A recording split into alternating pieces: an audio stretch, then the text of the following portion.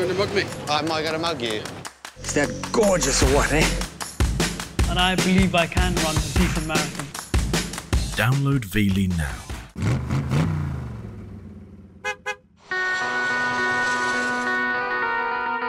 All over the world, airports are abuzz with thousands of passengers passing through their terminals each day. And from endless emotional journeys come countless stories. Heartwarming reunions. When I see him for the first time, I'm going to run over and hug him, of course. I mean, I'm dying to see him. Tales of discovery.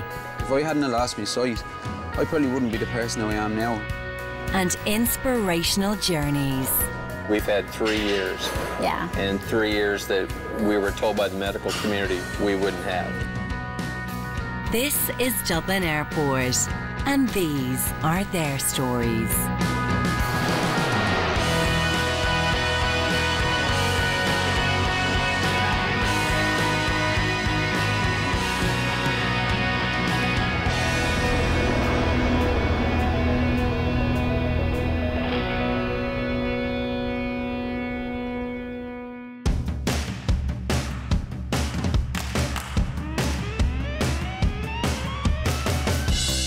Welcome to one of the top 10 busiest airports in Europe, Dublin Airport. Emotional reunions and tearful goodbyes are all par for the course here, as we find out tonight as we reveal the true stories from behind the terminals. For many, travelling is a happy and exciting time. But for others, it can seem like a daunting experience. Here at Dublin Airport, it is the responsibility of the OCS to provide the necessary help to those who need assistance. We've been here since 2008, providing services to passengers with reduced mobility. We help all people from all walks of life, and the feedback we get from them is very, very positive. From elderly people going on their first journey overseas to uh, people with uh, sight problems, hearing issues, anything like that, we're here to help. An airport for an able-bodied person can be a very frightening and intimidating place. Uh, wide open spaces and really people can get lost. But that's where we offer, because our staff are aware of the airport, we offer them comfort and assurance, and it's so gratifying. But again, people just need confidence going through the airport. If they are have uh, hearing difficulties or sight problems, we can actually show them, escort them through the airport. One of the care assistants on hand to help people through the airport is Frank, who's waiting on his next passenger to arrive. Well, the passenger today that we have is uh, visually impaired, and we assist all manners of uh, passengers with reduced mobility. Uh, but today, the job that we have is a blind passenger, and I will take him uh, to check-in. Uh, I will take him then through security. If he needs to, if he needs to buy anything in duty free, we take them all the way through there. We would then proceed to the boarding gate, and when we get them to there, we would then board them. We would board. We would complete it. We would complete the task really from from the car from the car door to the aircraft door. Without the OCS, how difficult it, would it be for a blind person to get through the airport? Well, there are many obstacles within the airport. Uh, as you can see, the amount of passengers that we have. Um, there's lifts to contend with, escalators. Then we have to go through security, through the shopping area, through the, through the, the loop upstairs. Uh, there's lifts downstairs to the boarding gates. And then uh, there, there would be quite a lot of people on that area, on the concourse, uh, at the boarding gates. So it is a, it is a hard task for a pa- passenger with, um, who is visually impaired to make it to the gate. Robert Dalry, you happy enough? Yeah, that's Robbie is availing of this service today as he makes his way through the airport on his journey to Austria. OCS, they're very helpful. They're grand. They just, all I need is an elbow to walk through with me. And they give you a good elbow. No, well, a good elbow. And any lip out of them, I give them a good elbow back, you know. and you said that you've, you've only a little bit of vision. Have you? When did you lose your sight? uh, when I was 13. so you remember having full vision. Oh, yeah, So Robbie, you're going on a big flight today. Something very exciting is happening. absolutely. Um, my friend's getting married tomorrow up on the side of a mountain in a big church down in the Tyrolean mountains of San Johann in Austria. And you're going to ski down the mountain. Mm, I will do at some stage, before I have a few drinks anyway. Tell us a little about your skiing. You're very good at it. Um, I started skiing after I lost my sight in 2001. maybe if I hadn't lost my sight, I wouldn't have started skiing. I might have been too afraid of the height of it. But um, I started skiing with the National Council for the Blind in 2001. It's great. We'd ski from half 10 in the morning to 3 o'clock and then straight down and ski right into the beer garden of a place called Max's Pub. Tell us how that works. How does the ski instructor guide you? Basically, the two of us get off the ski lift as we start. I have a bit of sight, so he's about six feet, eight feet in front of me. And then as he continues on, he would uh, shout back to me, um, tell me to turn either right or left, out of the way of obstacles. For Robbie, these trips abroad are made easier through the help and the support of the OCS. It's a free service. We work with the DAA on behalf of their uh, customer airlines. At our peak in the summer months, we can handle over a thousand passengers with reduced mobility. Uh, we provide the service both here in Ireland and the UK, and even last year alone, we handled over a million passengers with reduced mobility at the airports where we service. We do recommend to passengers that they pre-advise their airline at least 36 hours in advance. Then in turn, the airline advises us. So therefore, we're ready to, uh, to meet the needs of the passenger, whether they come actually into the airport from the drop-off point outside, the coach area or the taxi area, and equally, when flights arrive into Dublin Airport, we're aware of their arrival, we meet the flight, we're there when the doors open, and then take them through to the baggage reclaim, to customs, and then onward to their onward journey. Obviously, you had friends that knew you before you lost your sight and Oh, friends yeah. after. Did anybody treat you different, Robbie? Um, not friends, no.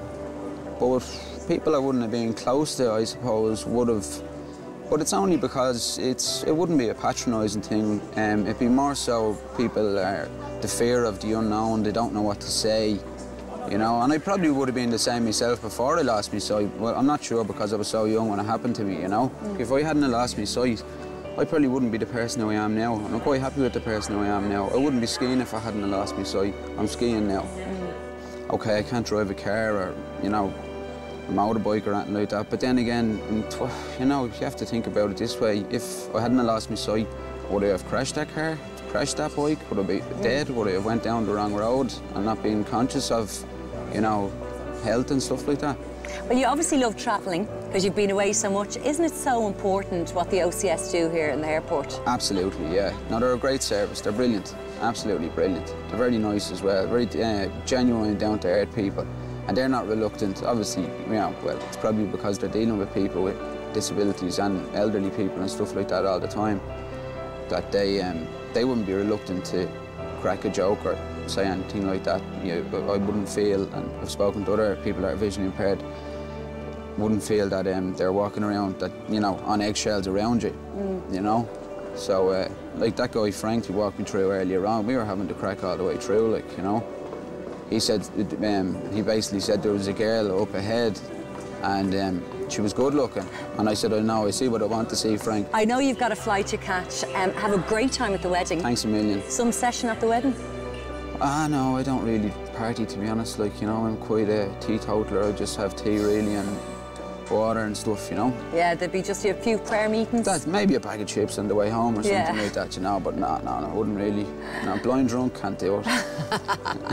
It was lovely meeting you, and I'm delighted that you had Frank today to bring you through. yeah, thanks a million. Good to talk to you. You too.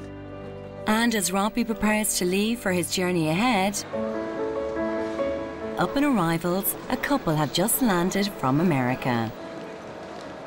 My name is Gary, And I'm Kathy. and we're the Johnses, and we're from uh, Post Falls, Idaho, outside of Spokane, Washington. Always wanted to come to Ireland, and this was our opportunity. So we seized the opportunity, and we're going to spend a week here. I understand it's about two hours south of Dublin, called Powerscourt at the Ritz Carlton. So we're going to, we have a nice little package, and we're going to go down there and spend a full week down there with some friends of ours that are also flying in from Los Angeles. They were here last year and they stayed at Powerscourt where we'll be staying. And they bragged about it so much and they brought all these pictures to show us. So I said, well, if you guys are gonna go back, let us know. And in December, he called one day and said, hey, we're going to go. So we immediately got on this, uh, this trip, decided to come. For both Kathy and Gary, this trip has a special significance. We came on this vacation to Ireland. My wife is three years free of cancer, and this is our way of celebrating it. And we thought this would be a perfect place to come.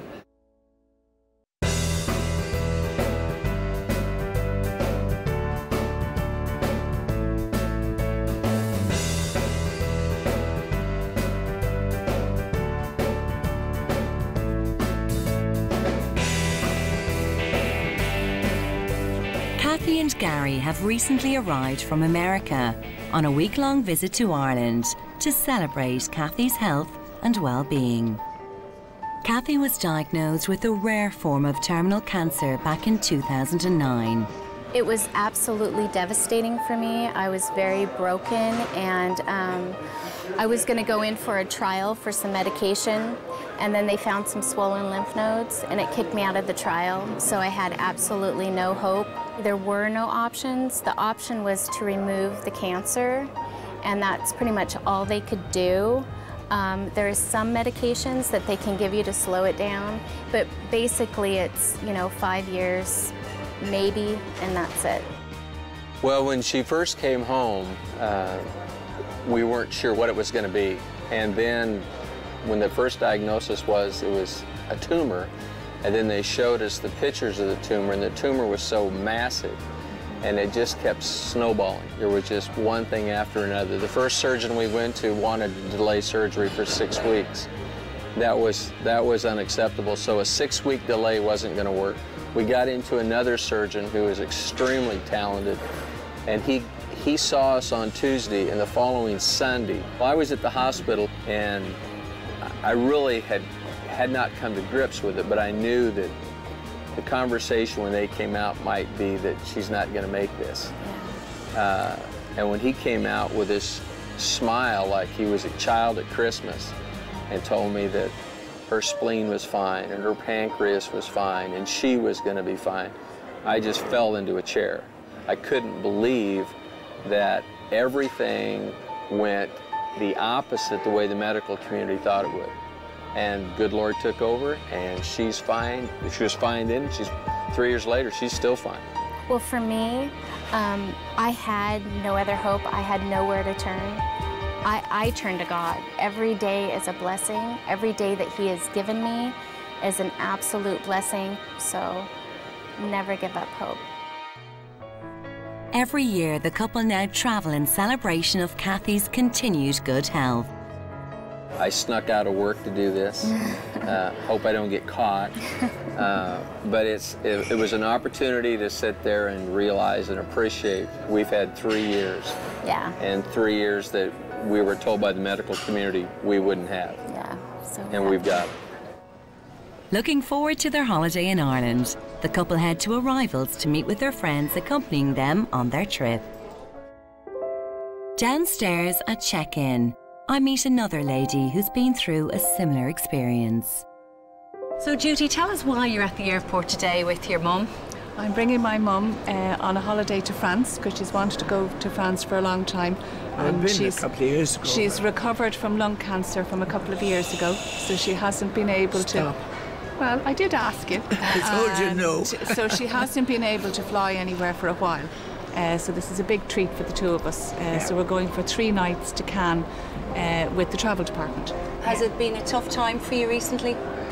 Well, I can't garden. I'm not able to walk very far. Things I like doing. Yeah. I haven't even had to swim, you know. So. Little things. Yeah, silly little things. Well, what's going to be great is you're going to have three days of enjoyment. And peace, I hope, a little bit of sun. And isn't it nice for mum and daughter to go away together? Yeah, we, we've done quite a bit of it, actually, yeah. yeah. When husband was sick, years ago, we used to go off every so often just to get a break. There's a special bond, I think, between mum and daughter oh, yeah. that can never... Every mother should have a daughter. Oh, absolutely. No Once you have a daughter, you'll never be alone. No. And what made you choose this particular service? We used it previously, about six years ago, um, before mum was sick, and it was great um, because it means then you don't, because as you know yourself, you have an awfully long way to walk and when you're not that mobile, it makes it a bit more difficult. So it makes it much more relaxing. very much so, um, yeah. Just to be able to know that mum's looked after and we'll get right up to the airport, up to the airplane, and just get on. So it'll be great. Well, you look the picture of health. Thank you very much. Have a wonderful time, ladies. Thank you very much. Enjoy your flight. Pleasure meeting you. As Judy and her mother head for departures, I meet Noelle and her son Dylan, who are also using the OCS service. Noelle, tell us why you're using the OCS service here in Dublin Airport today. Um, I requested the OCS service. I didn't know much about it, but I had looked into different options to help me get through the airport as quickly as possible to help my son Dylan, who has autism. We've flown together on our own a lot, and he's generally a very good flyer. He loves the airplane, but doesn't always understand the waiting involved at the airport. So um, I saw that we could get assistance kind of fast tracked through security, immigration, just generally in check in. So uh, it's the first time I've used the service, so we'll see how it goes. When you found out about the service, was it a great relief for you as a mother, knowing that there's Totally. a, a little extra help? Totally, yeah. I went on the website, they actually even had autism specifically mentioned, and a lot of the tools you can employ, which I already do, like visual supports, and we I make special books for him in advance to prepare him at every airport we go to. Um, but it was just good that it's, there's just so much more awareness, and then the general services for anybody with reduced mobility, etc. It's, it's really a wonderful service. And for Dylan, is it the amount of people that are here that upset him? No, it's it's. I think it's frustration with waiting, and he's so excited by. You know, they say if you know one child with autism, you know one child with autism. Every single one of them are different and individual. And um, for Dylan, he's so excited by the airplane that he just wants to go right on the airplane. Every gate he sees, he wants to walk on that airplane. So it's just, um, and then he can get frustrated, etc. So. And what exactly are they going to do for you today, Noelle? They're going to help me get through uh, the lines at bag drop off, at security, and then at immigration because we clear immigration for New York here in Dublin. So it's just like, you know, three sets of waiting lines just makes the waiting at the gate that much harder. So if we can fast track through there, then I can kind of manage. Uh, manage the waiting at the other end of the gate with you know the iPad and the books and the snacks and all of that. And I know you're from New York and you're over visiting your parents. I'm actually from Dublin. I've lived in New York for about 16, 17 years now and just back visiting family and my parents here. Yeah. And do you miss Ireland now that you've been home for a week? Does it make you want to come home or maybe live here? I miss the people. Yeah. I do love New York though. I love my life in New York, but I do miss all the people in Ireland. And you find that there's good services for Dylan in New York? Yeah. New York is the best place for him right now. Yeah, I've heard that it's a Mhm. centre of excellence actually for autism. Yeah, absolutely. Which is Yeah. fantastic. Excellent. He's excellent teachers. I'm still homeschooling him, and a whole battery of therapists and teachers, and uh, they're all wonderful. Well, I know time is of the essence for you. I know you're waiting to get through swiftly, so I won't delay you. But have a very safe trip. Thank you very much. And Dylan, it was lovely to meet you. Have a great trip, Dylan. Enjoy it. You say thank you? Thank you. Thank Okay. you.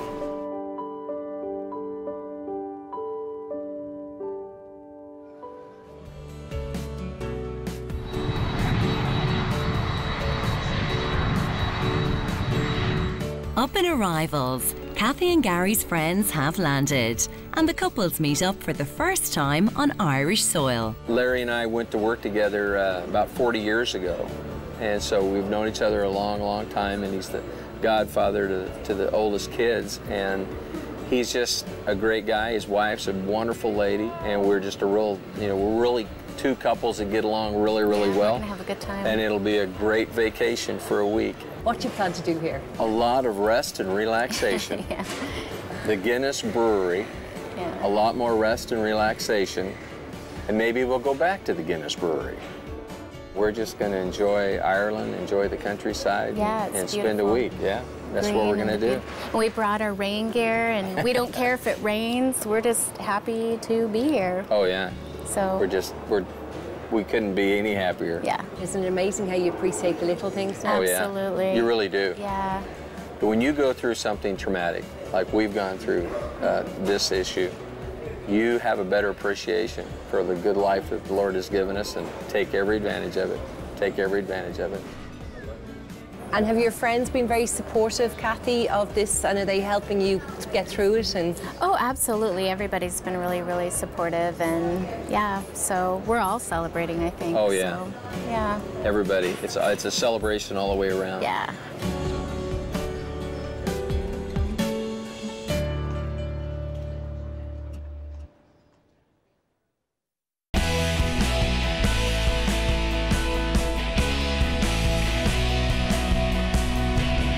Day, thousands of passengers and their families descend on Dublin Airport, and these terminals are brimming with accounts of faraway journeys and exploits.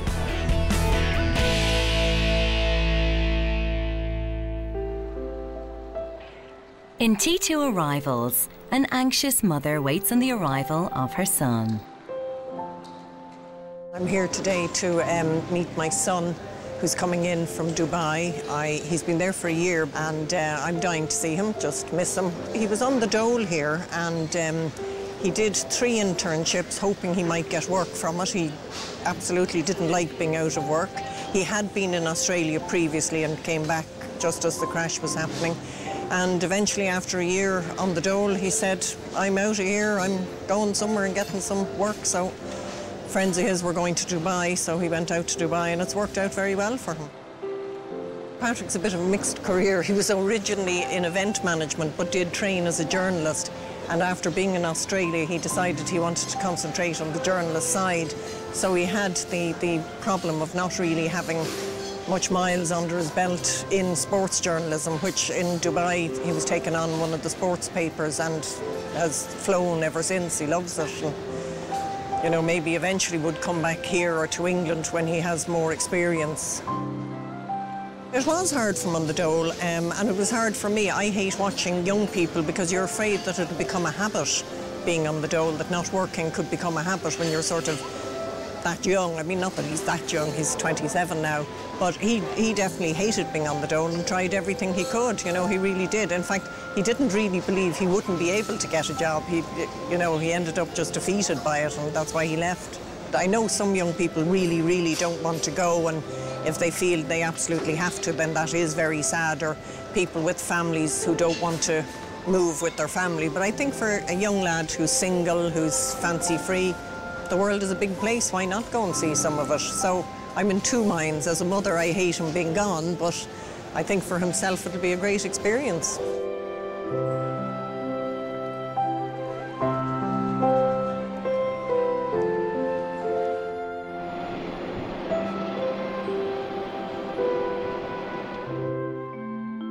Passengers arriving in Dublin Airport are closely scrutinised as they pass through the terminals. One responsibility of customs is to protect our borders from illegal drugs, cigarette smuggling, and other substances. Our role at the airport is, is, is, vital. If you take last year alone, we seized over six million worth of uh, uh, narcotics attempting to be smuggled into the country. In the area of cigarettes, we seized upwards of nearly 20, 20 million cigarettes alone coming in at the airport.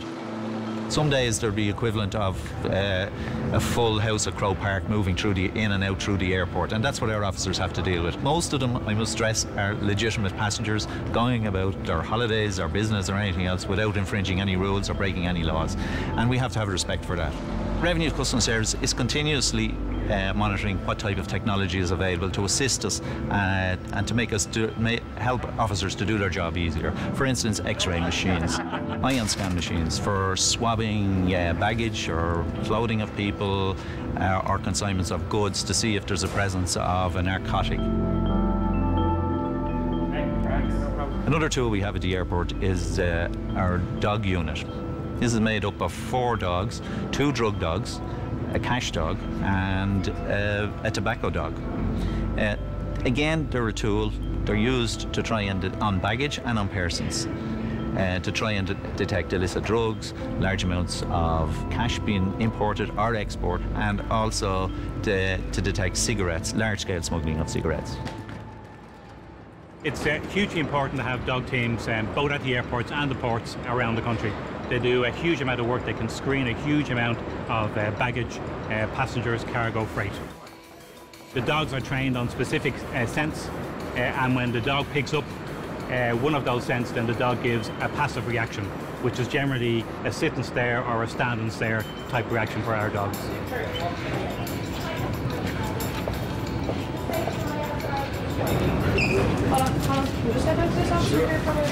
The dog handler's role is a very pressurised job. They're on call 24-7 uh, uh, days a week, uh, except when they're on holidays. Um, so it's a very intensive role and they uh, have a lot of responsibilities, not just to the dog, but to themselves and to the other officers around here as well. And there's a huge amount of pressure on them for results, uh, as there is with all our customs officers. We have targets to meet on an annual basis. So it's a very pressurized, uh, very pressurized job. Uh, and the type of job it is, we even though you come in in the morning and you may have a plan of what you expect to happen between the hours of your of your roster, uh, the reality is that this job changes every day, uh, changes from hour to hour, sometimes from minute to minute. Uh, it's a very rewarding job, but it's also a very challenging job, and you need to be able to think on your feet uh, and react accordingly. Today, the officers are conducting routine checks. When they're alerted to a flight about to land from Warsaw, there's a known passenger on board who's suspected of carrying a high volume of cigarettes.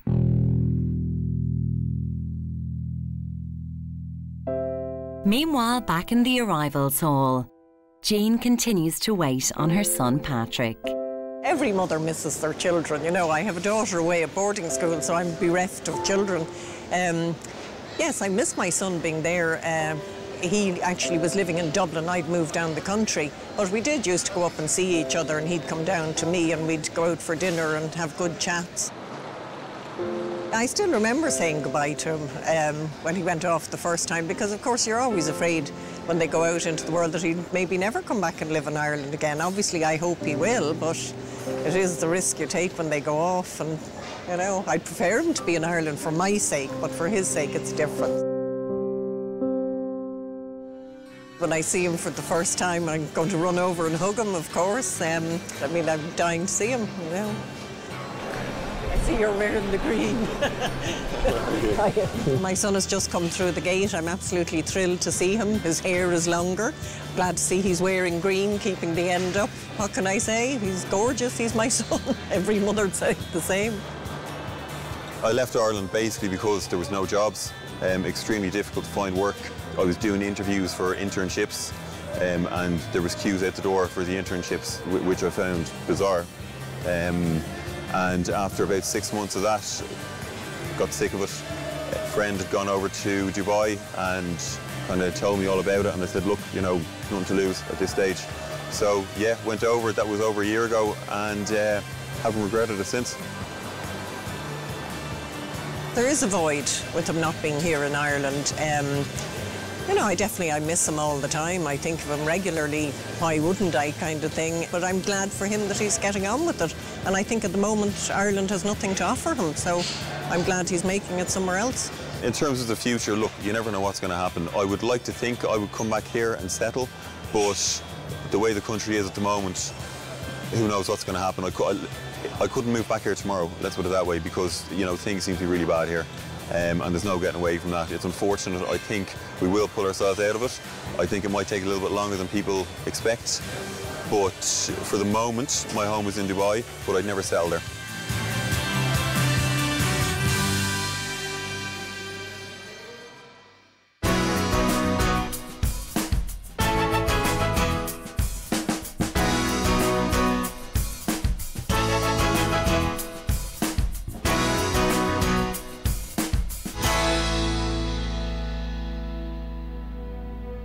Arrivals hall, a big welcome sign catches my eye.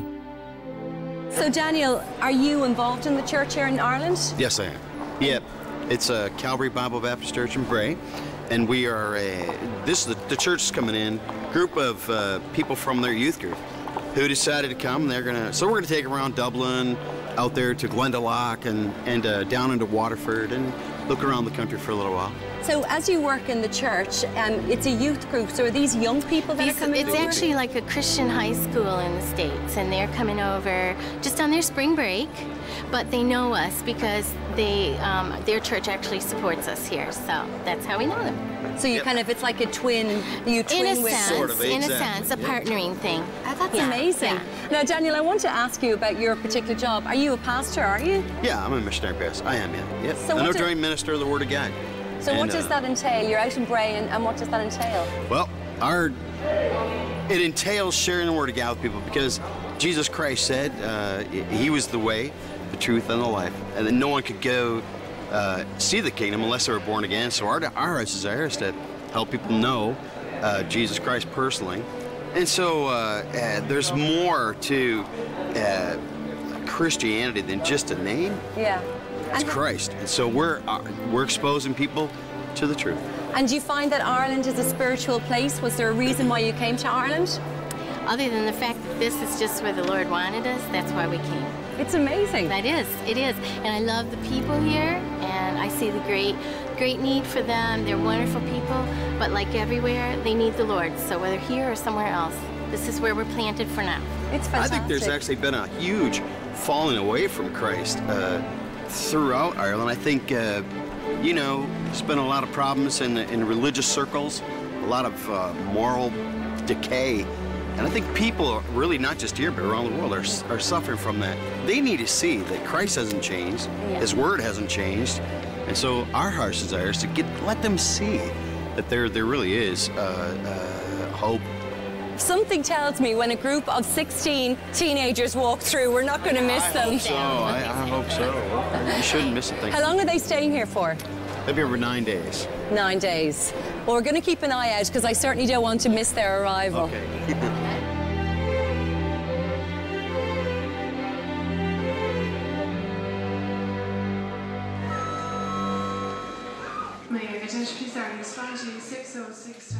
Customs are always on high alert and aware of passengers using foreign flights to smuggle large amounts of cheap tobacco to sell on Ireland's black market. Officers have received intelligence that a known passenger has arrived off a flight from Warsaw. They suspect that he may be trying to smuggle tobacco into the country. It's up to the team to stop and question the gentleman and carry out a more in-depth search. Did you pack this bag yourself? Yeah. Okay. How long were you out of the country for? How long were you out of the country? How long? Yeah. When did you go to Warsaw? When? Yeah. Two days ago. Two days ago. Okay, have your passport there, please, sir? Or your identification card? Yeah, yeah. Of course. This is, um... Thank you very much. No, sir, have you ever been stopped by customs before? No. No.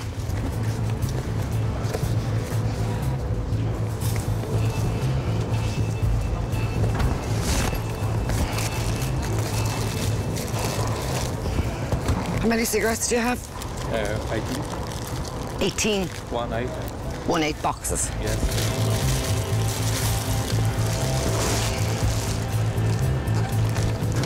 Okay, and can I have a quick look at that bag there? Yeah, of course.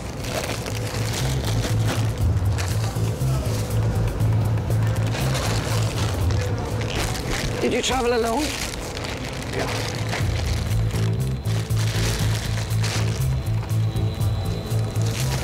Who did belong the boots? This is for my sister. More cigarettes, sir. Okay, I just want to take you into one of our rooms, okay? This is one of many discoveries that customs make on a daily basis, and time will tell what actions the officer will take.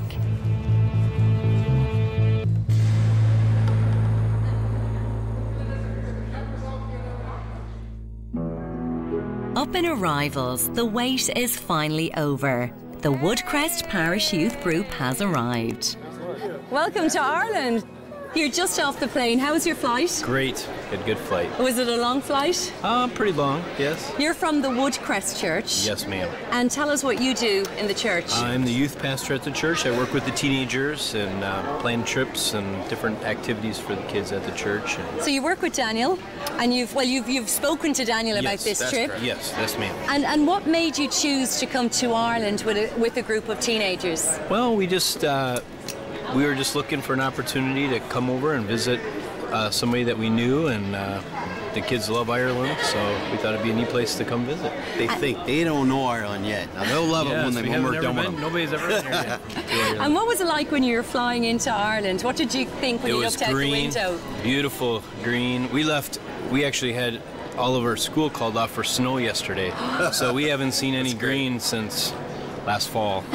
So we were pretty excited to see all the green, the lush green grass. It's pretty different though, isn't beautiful, it? yes. It's, it's interesting when you're flying into Ireland, that's one of the first images that you see when you look out. It's just green fields Mm-hmm. everywhere. Patchwork quilt. Yeah, That's really what it, it's really what it looks like, doesn't it? So we're going to take them up there. We live up in the Roundwood area, and we'll be showing them uh, again out in the Glendalough area, down in the Dublin. And uh, wait, we're just sharing the word of God uh, with everybody that we meet, really. And what's it going to be like looking after teenagers? Because I've been told sometimes large groupings of teenagers can be hard to We- manage. We actually have a great group of kids, honestly. Really? I'm not just saying that. They're they're just wonderful kids that I've never had a problem taking them different places. Aw, that's so They're lovely. really enjoyable to bring places. They're, they sing. We, we uh, have some songs that we'll do in the church services. Will they and sing a song for us now? How sweet the sound that saved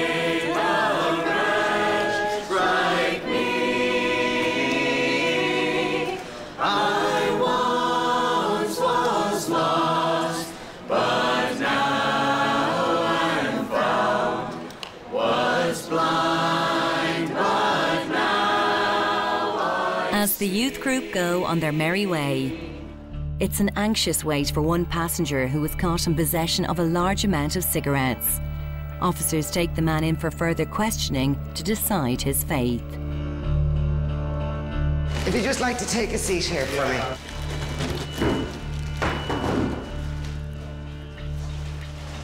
Now, how many have we got there? One, two, three, four thousand six hundred. If you just do a quick check. The seizure reveals that the passenger was carrying 4,600 units of cigarettes, which far exceeds the permitted guidelines. Now it's up to the team to question the passenger further and prove they're not for personal consumption. We've just targeted a man that we suspected was smuggling cigarettes in on a flight from Warsaw. This gentleman has a previous record with us. There's previous seizures made from him. He was identified and he was followed uh, from the time he landed uh, and disembarked from the aircraft. He was identified to officers in the channel who stopped him and searched his bags. When they searched his bags, they found 4,600 cigarettes, and more than likely, it will result in the seizure of those cigarettes. The man was later released without charge. However, the cigarettes were seized. And finally, a week later, Kathy and Gary returned to the airport after their special trip to Ireland in celebration of her recovery from cancer. We caught up with them to see how they got on. Guys, we spotted you checking in, so you're back in the airport. Did you have a good week in Ireland? We had a great time. Awesome time. It was an amazing trip. For your first time here, what were, you, what were your expectations and did it live up to the expectations? Oh, it exceeded the expectations. The expectations were we would have a good trip, we'd have an enjoyable trip. I had no idea it could be this good. I mean, Yeah. we stayed down in uh, Powerscourt in Enniskerry, and we went to a number of places. The people, incredibly polite, incredibly nice. kind to us. So nice. The, and the food was just, the food was amazing. Mm-hmm. Every time we stopped to eat, it was amazing. Yeah, it was good. I mean, it is so beautiful. The weather was perfect, and just when every day was a little better than the day before. We did everything. I don't know what we didn't do, but at the same time, we didn't do so many things that we didn't have time to enjoy just the peace and serenity of, of Powerscourt and of Enniskerry and Bray and everything. Everything was great. It was an amazing trip. You're going to have to come back and, of course, celebrate your good news. And how are you feeling? I feel great. And I, ho- I hope we come back next year. I think it's just been great. So I think the reason why you were here celebrating your good health and Mm-hmm. that positive news, it, it's so good that you've had a good time. Oh, yes. And it really makes you appreciate life, really. Oh, it does. It does. It- we've a number of people. We keep sending them updates every day, and you know, next year we'll come back with probably a, a trainload of people. try not to make it too crowded. but the uh, yeah, I mean, the idea was to come over here for us to celebrate our good fortune because of Kathy's health, and we have we've got. Not only did we get to do that, but we got to enjoy Ireland like we've never expected. Well, it's such a positive story, Kathy, and I wish you good health and Thank happiness you. together. And I hope to see you next year and We'll perhaps the year after. We'll be here. Absolutely. We get ready to come over. We'll let you know. How's that? yeah. But have a very safe trip home. Thank you so much. It was Thank lovely you. meeting you both. Thank you.